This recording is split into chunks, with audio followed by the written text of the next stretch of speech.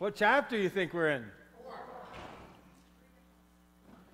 I heard a few different ones there. We are in chapter 4. That's the loudest I heard, so we'll, we'll go there just because that's what you want. Genesis chapter 4. When you think of success, what comes to your mind? What's that? Money? I heard money. Prosperity? Accomplishing a goal. I think that's two people said that at the same time ish. That's cool. What else? What else do you think of when you think of success? Joy and satisfaction. Okay, let me twist it just a little bit. And I don't know if you're even brave enough to answer this question. But I would be successful if or when. Anybody willing to brave that one? I will be successful when. What would, you, what would be the blank there for you? What's that? When I stop yelling. My family all wants to really serve the Lord. Okay. Anybody else? I'll be successful when? Yes. That's a good one. I'll pray for you on that one. No, I mean that seriously, too. We all have some. Don't laugh at him. We're all, we all understand that one. What else? Now, really, what I should have done, okay? Because you're all kind of wimpy, and you don't really want to say exactly what's really on your mind in order what you think that you it would make for you to be successful. You don't really want to say it out loud. Most of you, most of us, maybe we could say. I'm better off if I had, and I thought of doing this actually, giving you a piece of paper and having you write it down first so you didn't have to say it out loud, but then you might not have even done that because you'd been afraid I would have asked you what you wrote down. But the point is this I want you to th- reflect just for a moment.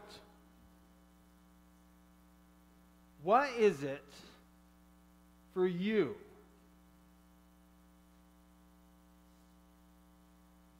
If this happened, then I would be successful. What is it for you? You're not going to say it out loud.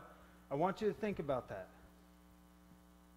This comes in is a really valid thing to be thinking of because whatever we think success looks like is always what we're striving for to some degree.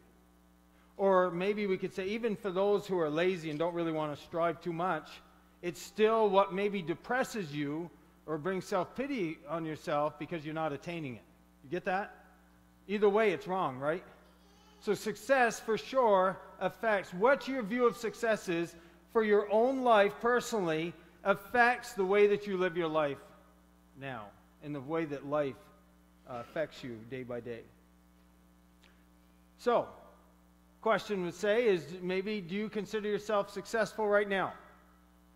Well, we're going to this morning look at uh, the contrast of two successful families. Not that one's successful and one's not. We're going to look at two successful families this morning and see a difference in what makes that family successful. Are you with me? Are you ready? Do you dare? Okay, let's, let's pray before we get into the word this morning. Dear Heavenly Father, I thank you for your word. I thank you, Lord, that it is relevant and it is real and that the people in it are just like us, one way or another. And it's not, you know, super spiritual people in it. It's everybody. It's those who are striving to live for you, those who don't care about you, those who are in the middle, those who are, go back and forth, just like we are. And so, Lord, use your word this morning to challenge us. Number one is if our parents challenge us, but number, challenge us also in our individual lives that what on what should be what we base our success upon. In Jesus' name, amen. So, Genesis chapter 4, we finished off last time. Cain had killed his brother Abel. And so he had been, what did God do to him? Kick him out of his presence, but he'd already been kind of done, and he had to be a what? What did he tell him he had to be? A wanderer, thank you. A wanderer. We're going to look at what happens next. That's where we're going to pick up with this morning, Genesis chapter 4, 17. We're going, to first, we're going to look at two successful families, and the first one is going to be Cain's. Okay? That's the first successful family we're going to look at. Cain had relations with his. Okay. Number verse 16. We ended with it last time, but I want to begin with it today. Then Cain went out from the presence of the Lord and settled in the land of Nod, east of Eden. Cain had relations with his wife, and she conceived and gave birth to Enoch. He built a city and called the name of the city Enoch after the name of his son. Now to Enoch was born Irad, and Irad became the father of. Ma- I actually was thinking of asking one of you guys to read this. Mehujael, and Mehujael became the father of Methushael, and Methushael became the father of Lamech. Lamech took to himself two wives. The name of the one was Ada, and the name of the other was Zillah. And Ada gave birth to Jabal. He was the father of those who dwell in tents and have livestock. His brother's name was Jubal. He was the father of all those who play the lyre and flute, pipe. As for Zillah, she, um, she also gave birth to Tubal Cain, the forger of all implements of bronze and iron, and his sister of Tubal Cain was Naamah. Lamech said to his wives, Ada and Zillah, Listen to my voice, you wives of Lamech, give heed to my speech, for I have killed a man for wounding me and a boy for striking me. If Cain is avenged sevenfold, then Lamech seventy sevenfold. The successful family of Cain. What, we start right off with Cain understanding where he's headed. Because God told him to be a wanderer on the earth, and what does it say that he did? He went to the land of Nod and did what? Settled there. Does that sound like a wanderer? Number one, he leaves the presence of the Lord and is in outright disobedience to what God has put on his life. He builds, he, and then what does he do next? He settles there and he does what? He builds a city. That's prosper, prosperity, wouldn't it be? A city is what represents everything that life has to offer. It represents the wealth, it represents uh, economic value, it represents all of, you know, we may say we don't like to live in cities, but still, it represents everything that this world has to offer at, our fingertips. So, would we say then, if Cain built a city, would we say he's successful that way? We say maybe he's successful, maybe we can stretch a little that he's successful economically? Well, fathers, Anybody here who has an influence on, on younger people? What, what happens in your life and what the way you view success will affect those who are under you, will affect those who are watching you children, other people's children, whatever. Those who are watching you, the young people, will see what's important in your life. And we'll get back to that a little bit in, in a while. But let's just see with Cain. So he's distanced himself from God, and that's no big deal to him. He's disobeyed God in outright defiance of what God has told him, and that's no big deal to him. But before we say, well, he's not a success, let's look at his children. Because a lot of times, we, I don't know about you, but a lot of times I've come to this passage and, and, uh, and I would say, you know, that the godly line of Seth is great, and, and then Cain, Seth is all evil. But it's not just all, it's not necessarily all evil. There's good that's going on. Because look at each one of his sons. He built a city, had many children. Would we say that's a prosperous thing? If you'd like to have children, it is, right? But, it, but it's in this economy, in this time period, it for sure was a, a success to have children. Because anywhere in the Old Testament where you see a, a woman who's barren, that's kind of a negative, right? And if you've read the Bible at all, you'll see that. So, so they've had success with, you could say, maybe their economics and where they live. They've had success with even being able to have uh, children and family that continues to have more family. And then look also at each one. Each one of his sons is a leader. Look at this. Um, verse, uh, where is it? Starting with 20. Jabal, it says, was the father of those who dwell in tents and have livestock. Did anybody have livestock before this? Trick question, maybe, but not really. Anybody have livestock before this of any kind? Abel, right? Because what did he offer? Yeah, he offered a lamb, so he had. Li- so it's not the idea that nobody else had livestock. So we'll get to that a little bit. And the brother's name was Jubal. He was the father of all those who play the lyre and the piper. that would be any musical instrument. Tubal Cain was a forge of influence of bronze and iron. By the way, our world tries to tell us that uh, the old people, you know, the time the first men were stupid. No, they were actually very smart because God made them perfect and they actually could use all of their brain. What do they say how much of our brain we can use? I mean, I know some of us it's more or less, but but as a general rule, huh? 10%. And we look around and we say, you know, I, I wonder how much of yours you're using. But still, that's not the point, is we don't use 100% of it anymore, right? But they did at this point in time. They were smart. So this idea that Cain's children, all, uh, Cain's sons here, all were the father. That idea of father can mean founder. It can mean possessor of. But it has the idea that they were leaders in their occupation. They were the ones to look to. In other words, they'd be like the, oh, what's the guy who did Microsoft there? There we go. And everybody looked to him for certain things in that industry, wouldn't you say? This would be the kind of the idea of it. So each one of these guys, you would look to them if you wanted a musical instrument or to have a musical instrument brought to him to have him see if it was worthwhile or not. They were the leaders in their industry. Now, would we call that success?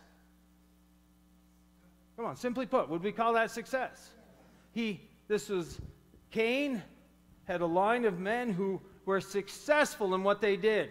They were leaders in what they did in the world. In, and even in Christianity, we would say this is successful to a point. Also, we could say they're successful in this because sometimes uh, we look at self confidence as being successful, don't we? Look at Lamech. Let's read what he wrote, and then we'll just pick a couple things out of there. He said to his wives, Listen to my voice, you wives of Lamech. Give heed to my speech, for I have killed a man for wounding me, and a boy for striking me. If Cain is avenged sevenfold, then Lamech seventy sevenfold. We could say that he was very self confident. In other words, he took matters into his own hands because he didn't need anybody else to do it for him. Would we say that might be a level of success? I mean, maybe you don't want to say it right now, but when we say that somebody can do for themselves and don't need others to do it for them, we would call that some sort of success, wouldn't we? We actually like that to happen in the workplace, don't we? If you work with somebody, do you always want to cover for them because they're not doing what they should be? You want to? Okay. what were we supposed to pray for you for? Um, so the idea is that yes, we could say we, we know that could be wrong, but, but still, there is some sort of success there that they don't have to be coddled all the time. They can make things happen and get stuff done, right? Even if we'd say he shouldn't be killing these guys, but we don't know. We don't know the exact circumstance. But what we do know is he did it, and he's bragging about it, that he didn't need anybody to help him. He's self confident. He's able, and this is the key thing he's able to succeed in life without God. He's able to succeed in life without God. Remember David, you read some of the Psalms, and over and over again, you see David saying, Why do the wicked prosper around me, and yet I'm trying to live for you, Lord, and look at all the things that go wrong? Look at how hard it is. And it looks like those wicked people, they're flourishing, and they don't even have to work at it. It just, everything, they've got golden fingers. Whatever they touch turns to gold. I'm sure we've had those thoughts too, haven't we? If you're a believer and you've said, you know, why does it have to be so hard? Why can't it be easier? Like, wouldn't it be easier just to? And the saddest, worst thing that can ever happen to the life of a believer, and I've seen it happen, is when believers get that point where they give up on God and they do life without Him and it goes well. Because guess what? If you're only living for God so it goes well, you you don't get it anyway. You don't really know. You don't really understand the gospel. The gospel, you didn't come to Christ so that he could fix all your problems. If you did, you don't really understand the gospel. You come to Christ because you need him as a savior of your sins, not as the one to fix all your problems. That's why, by the way, this is a little extra for you. When Jesus came 2,000 years ago, and he presented himself as their Savior for their sin, they weren't that happy about it because they just wanted him to fix their problems. And what was their biggest problem at that time? Under Rome, right? He wanted to, they wanted him to set himself up as king. They didn't care if he was their savior. He, they, only want, he, they only wanted Jesus to save them from the hardship they were in, not to save them from their personal sin. That's why they rejected him. And that's so easy to get caught up with, isn't it? But Cain's family line was able to be successful without God. That's a scary place to be. It is so hard, and the Bible talks about the rich man to enter the kingdom of heaven.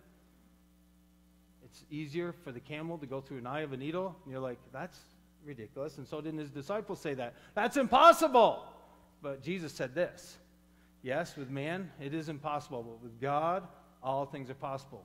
It's never impossible for somebody who has it going well to get saved, but it is for sure not as likely, isn't it? Because they think they've got it all under control. And it's even worse, though, when it's a believer who starts to do life without God, when they know the Savior who saved them and how much He did for them and loved them. All right, so Cain's family is not necessarily unsuccessful, it's very successful, but it's successful without God. So let's keep going on and see the, the contrast of another successful family and what that looks like Seth's.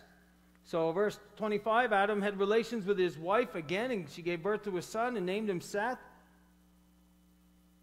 For she said, God has appointed me another offspring in place of Abel, for Cain killed him. To Seth, to him also was a son born, and he called his name Enosh.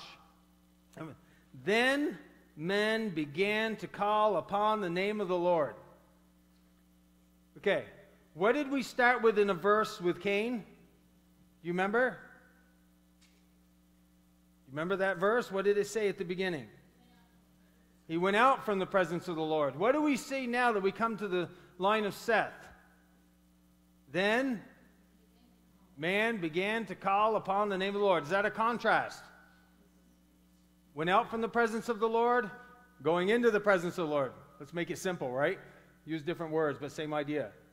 Totally contrasted. All right. So let's look at what does that mean? He had many children too, right? By the way, if you want to have some good um, names for children, if you're going to have children someday, look right here in chapter 5. You'll get a whole list of them. You'll probably have to have somebody smarter than you help you pronounce them, and then maybe you can name your kid. All right, but this is what it says in chapter 5, starting with kind of, kind of a recap he does a little bit. This is the book of the generations of Adam in the day when God created him. He made him in the likeness of God. He created them male and female, and he blessed them and named them man in the day they were created. When Adam lived 130 years, he became the father of a son in his own likeness, according to his image, and named him Seth. And then it goes on and on and on how many days everybody was alive. Now,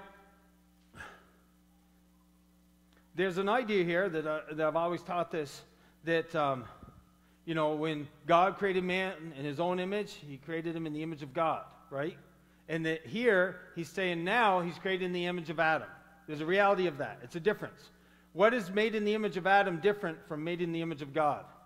One word, three letters. Sin, right? Sin makes that difference between the two. But I think there's something else going on here too. Because he's not talking about Cain. He's just talked about Cain. Now he's focusing on Seth. So I think he's trying to say also something else. We know that's true, that, that he's in the line of Adam, and now he's, they are born with sin. But there's another aspect here because look what he says. He says, He became the father of a son in his own likeness, according to his image, and named him Seth. He didn't say that about the other Cain, did he? It's almost like he's starting over again here starting over maybe with that godly legacy. I think there's maybe that that's in the context a little bit here. And that's why he's saying starting with Seth. Seth is now a godly man. We see that based on the last verse of chapter 4. The man began to call upon the name of the Lord when Seth had a son named Enosh. So let's look and see what it says about their line. And we're not going to read all these verses. I just wanted to take you to a couple verses that, sh- that actually say something about the person and just don't say when they died and were born and all that. Verse 21, it picks out one of these men, Enoch. And Enoch lived 65 years and he became the father of Methuselah. Then Enoch walked with God 300 years after he became the father of Methuselah, and he had other sons and daughters. So all the days of Enoch were 365 years. Enoch walked with God, and he was not, for God took him. We do not know, by the way, you can look at all the, you don't, you don't know anybody's occupation until you get to Noah. They're not saying the occupation doesn't matter, but occupation isn't the most important thing. You get that? What is the most important thing? That they walk with God. That they walk with God. They called on the name of the Lord. Enoch, I just want to look at a couple verses just to, uh, in, through, in the New Testament on Enoch. Enoch, uh, Hebrews chapter 11.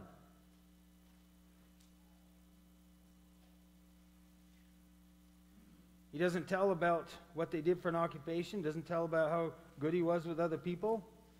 They bring out this point that he walked with God. Hebrews 11, um, verses um, 5 and 6 say this By faith, Enoch was taken up so that he would not see death.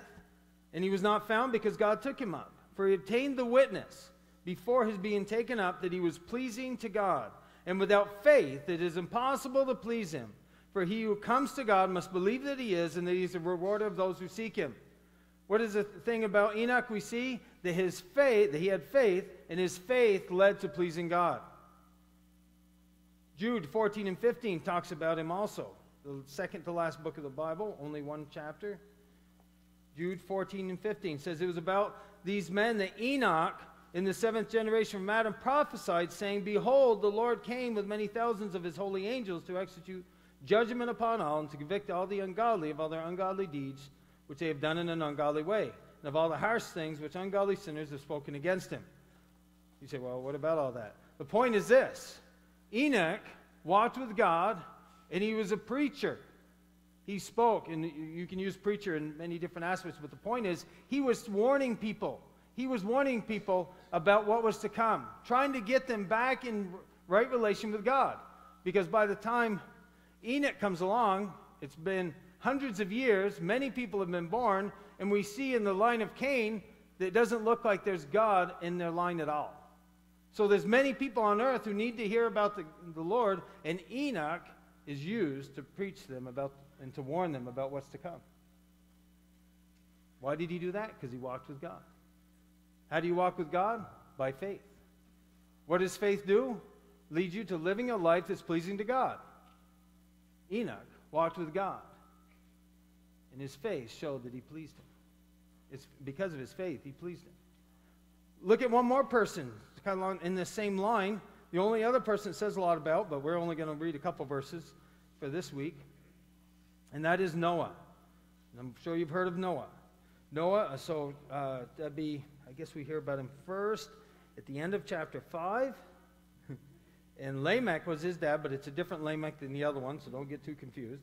Lived, uh, it's verse 28, 182 years and became the father of a son, and now he called his name Noah, saying, This one will give us rest from our work and from the toil of our hands arising from the ground which the Lord has cursed. So his father knew there was something special about his son and that God was going to do something in his life. Then Lamech lived 500, had other sons and daughters. Okay, so, and he died. All right, another verse I want to read. Go back over to chapter 6, and when it tells us who, what Noah was like. Verse 9. These are the records of the generations of Noah. Noah was a righteous man, blameless in his time. Noah walked with God. What do we see about a person again? He did what? Walked with God. How do you walk with somebody? Jeremy, come on up here.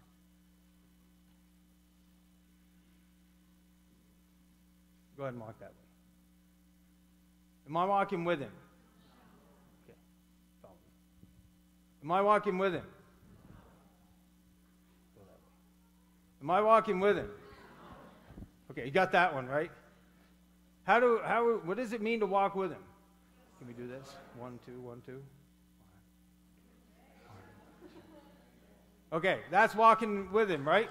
The idea is to walk in step with, right? It means to go the same place that they go, do the same things they do at the same time as they do it.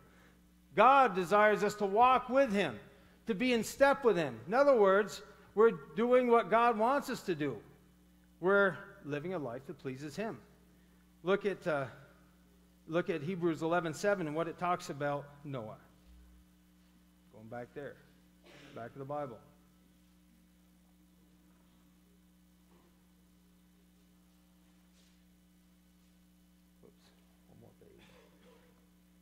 By faith, Noah, being warned by God about things not yet seen, in reverence, prepared an ark for the salvation of his household, by which he condemned the world, became an heir of the righteousness which is according to faith. So, because of Noah walked with God, that was a phrase used of him in Genesis, and his faith showed by his obedience. It says that he was told about something he'd never seen. The idea there maybe is this that they had never seen rain. There's an idea that maybe there was just a mist. I only can picture that like with a tropical rainforest type thing on the earth at that time. That's what we, it seems to look like. But the point is, we know that there was something he had never seen and didn't understand, and God told him to do it anyway, and he obeyed. That's faith in action. We see about Enoch, his faith led to pleasing God. We see about Noah, his faith led to obedience. Look at uh, 2 Peter 2 5. And the same way we looked at um, Enoch, we'll look at Noah. 2 Peter 2 5. And it says this And did not spare the ancient world, but preserved Noah, a preacher of righteousness with seven others, when he brought a flood upon the world of the ungodly. So think of this Noah was a preacher. The other, you could say the other one preached, and preach means to speak and tell, and, and, and Enoch warned people of what was to come. But pre, the, um, Noah was a preacher of righteousness during the darkest hour this world has ever had. We do not live in the darkest hour this world has ever had. There is another dark hour coming, but we ain't there yet. There's still light here. In fact, they even say in New England that there's more light of the gospel than there was 20 years ago. A statistic just came out, and it said that, that New England doesn't look quite as dark as it used to. I remember him saying how dark it was when, when we were in Brownington, and, and I kept hearing how dark New England was, and you'd have these people come because they were going to come to the dark area. And I remember thinking, it don't look too dark to me. People are getting saved.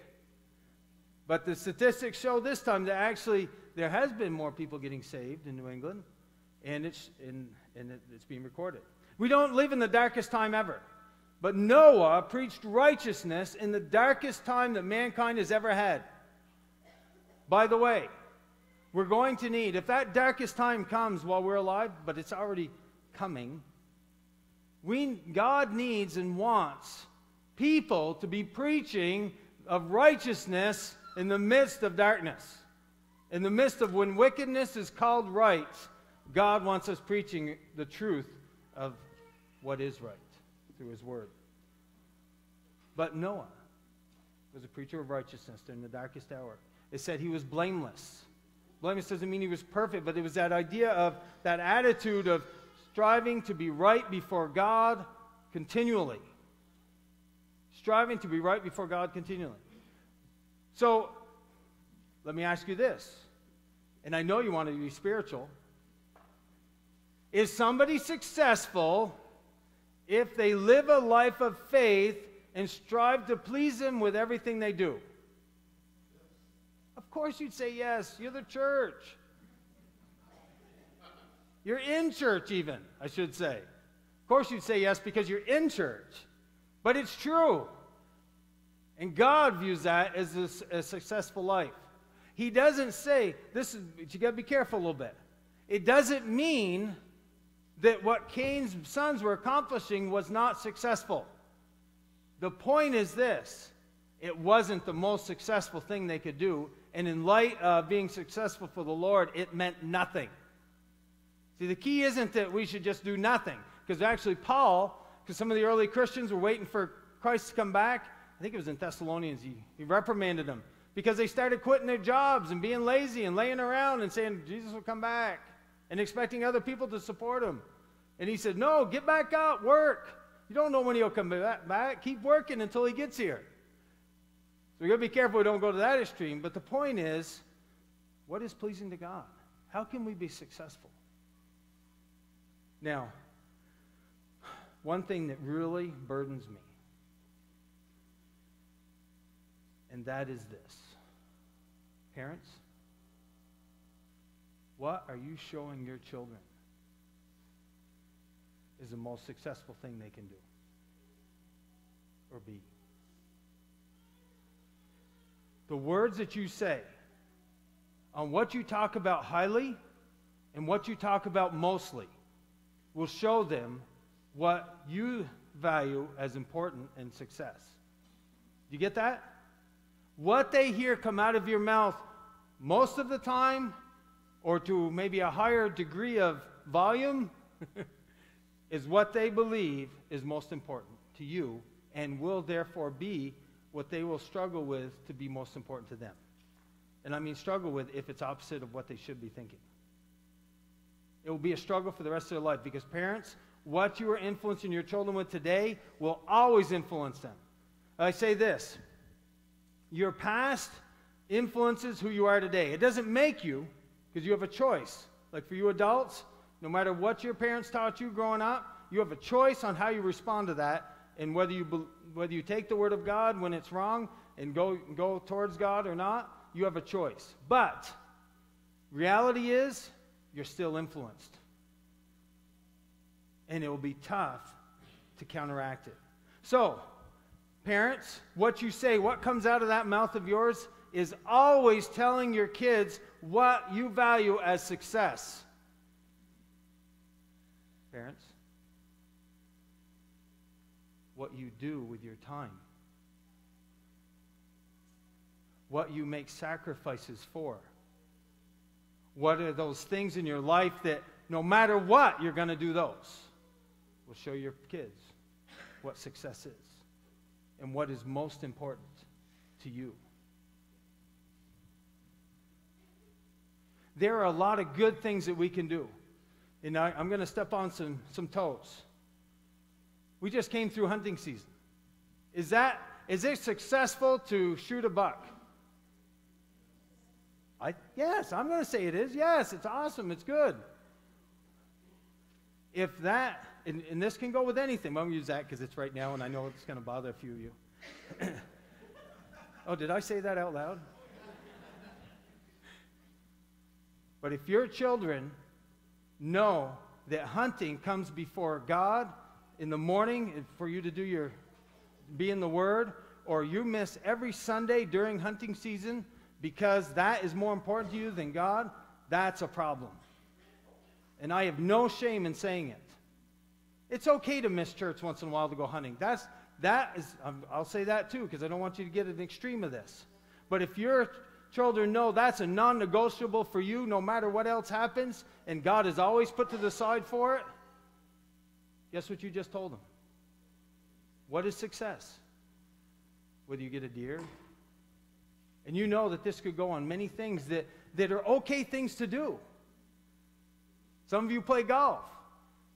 And if you're missing every Sunday during the best golf season, there's a problem. Or you're showing your children what's most important. It's okay to miss once in a while. Yes. But you know, you know, if you're saved, the Holy Spirit will show you if you're missing too much. I, there is no doubt about that. Because He loves you too much to let you go. Is it okay to miss some things? Yes. But you, just remember this what are you doing with your time will show your kids what success is. If they always see you, or in the morning in the Word, moms and dads, no matter how much sleep you got the night before, or sometime during that day, it could be whatever, they're going to know that God matters to you.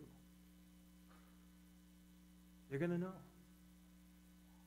Because what you will do when it'd be easier to do something else shows what's important to you. And your children watch shows what success is. Our life shows what's most important to us. Our focus, our time, our words, and our money. Where do they go will show our children what success is to us. All right, so your family. We talked about two successful families. Now we want to talk about your family. I only see a few concerns around there. Good. We're going to look at this a parent's challenge. Look at 1 Thessalonians 2 9 through 12. We're actually going to talk about our family, each one of us individually. So 1 Thessalonians chapter 2 9 through 12. It says this For you recall, brethren, our labor and hardship, how working night and day so as not to be a burden to any of you, we proclaim to you the gospel of, of God. You are witnesses, and so is God, how devoutly and uprightly and blamelessly we behave toward you, believers. Just as you know how we were exhorting and encouraging and imploring each one one of you as a father would his own children, so that you would walk, here it goes again, in a manner worthy of the God who calls you into his own kingdom and glory. It's Paul talking to the Thessalonians. But think of it as, a, as parents talk about your children. Would they say this about you as we open this up? Look at what he says. For you recall, he's saying, You remember? Can you say this to your children? You remember those times where, I, where we labored and we worked to do what? To get more money so that we could buy another car? No, what does he say? We labored and worked to proclaim to you the gospel. Parents, is that your biggest thing that you work on? Are you sweating so that you can get the gospel sh- shown to your children? So that they can see what's the most important decision in their life. They're hearing it, they're seeing it lived out, and it, they know that it matters so much to you that you'll stay up late at night to talk to them when you have those times, especially with teenagers. That you'll go to things where that they will hear the gospel said because instead of doing something else because it matters that much to you. Are you laboring and toiling to reach your kids with the gospel of Christ? Or are you just saying, well, the church should do it? Or youth group should do it? Or the other people in the church should do it? Or is it really purposefully are you working to say it and to live it before them so that they see and hear the gospel and truly see how much it matters to them? So right here it says that he labored to speak the gospel. Also, he says um, in the next verse, at 10, you are witnesses, so is God, how devoutly and uprightly and blamelessly we behave towards you, believers. Is, would that be what our children see? That we are trying to live blameless lives, and they're seeing how much, how devout we are to do that. Not that we're perfect, because then we've lost it all. Because if we go that route and we think we're ever perfect, then we've blown it for our kids because they don't understand grace.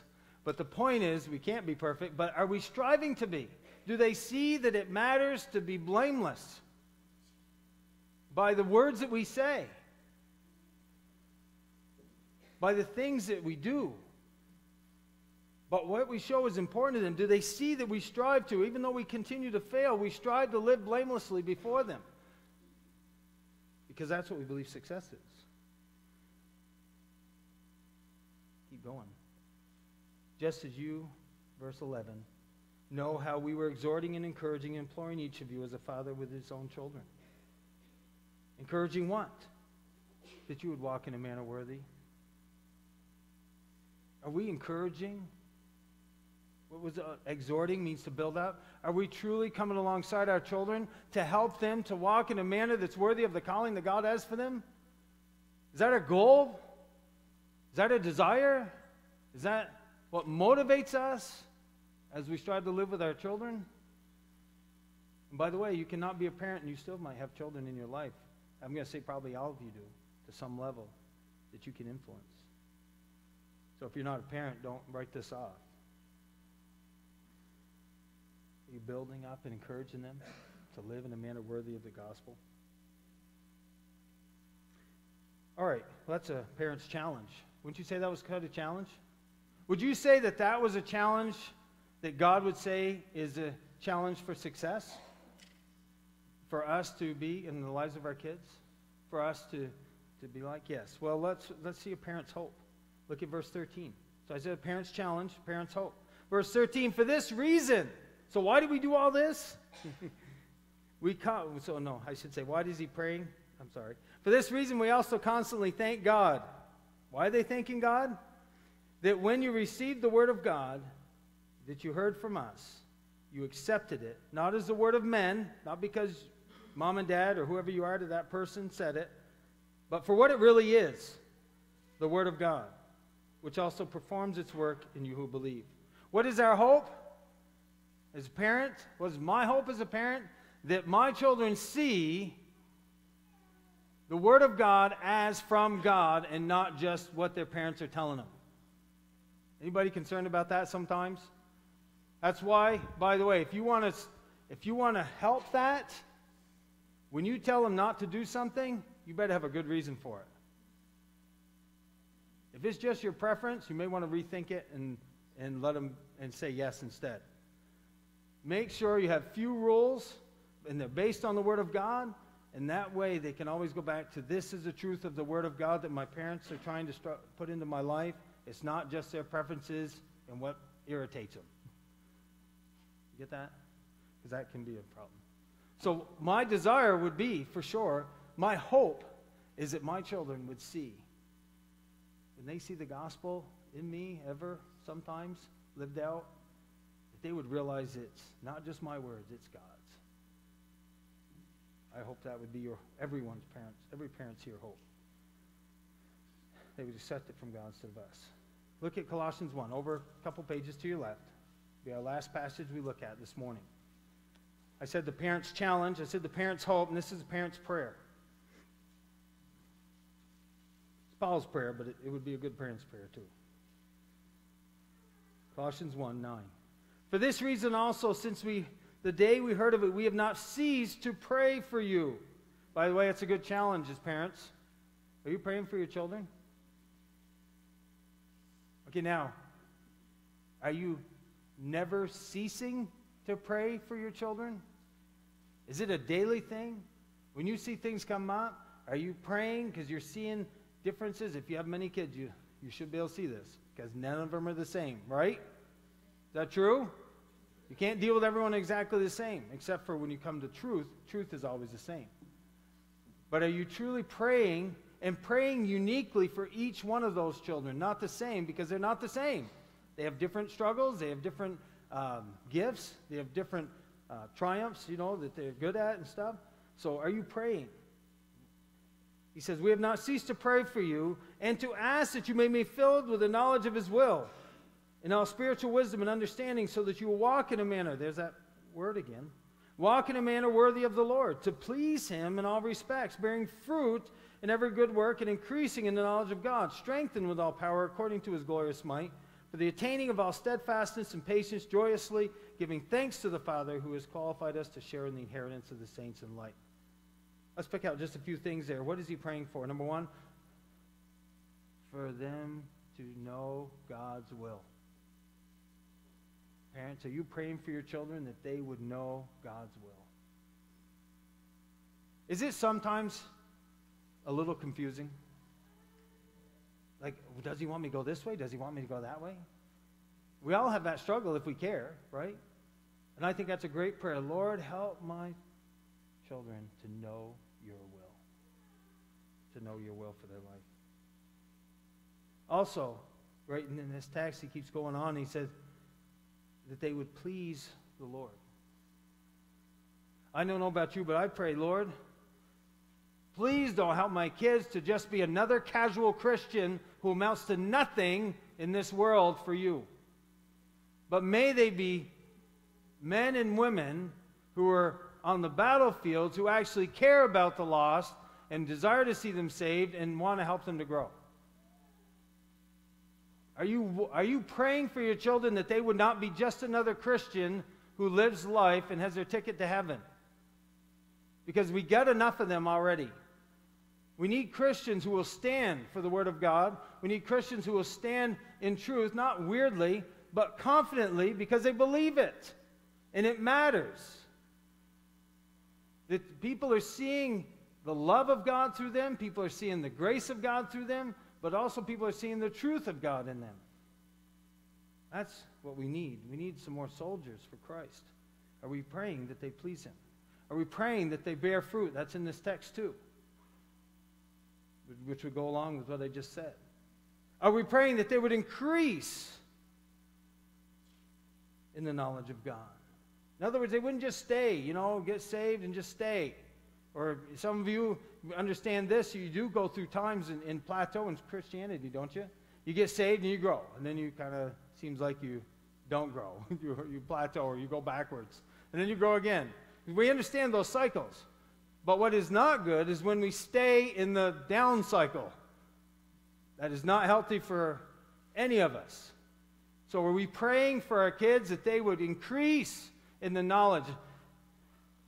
We're not talking about knowledge to have more head knowledge. We're talking about knowledge that's experienced. In other words, it's a knowledge that continues to be worked out in our life. Are you praying for your kids that they would have that kind of knowledge of God? And that they would be strengthened by Him, not by what the world says, not be because they've done enough things right, but because of the God who saved them. And then, lastly, are we praying that they have an attitude of thankfulness? It's easy for us as parents to condemn our kids that they're not thankful, isn't it? You little punk, what I did for you and you and you're not thankful? But are we praying that they would be thankful? Are we praying that they would have that attitude of gratitude in their life? Because tell you what, if they have an attitude of thankfulness, that is visible to a lost and dying world who does not see it much. Question this morning. Number one, do you consider yourself successful? Which family is it based on? The family of Cain or the family of Seth? The family that went out from the presence of the Lord or the family that drew and called upon the name of the Lord? Parents, what are you teaching your kids is success?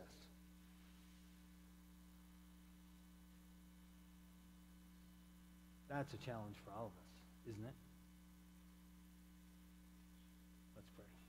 Dear Heavenly Father, I thank you for your word and, and even just the clarity we see in these two families of the distinct difference. Lord, we know that as parents and we do have a lot of influence. We thank you for your grace, though, that even in spite of our negative influence, our kids can come towards you and in spite of us. We do thank you for that. But Lord, this morning I pray that you would challenge us. Show us those areas that, right now, practically speaking, where if we had to say so, we would have to say that we're showing our kids that what this world has to offer is success,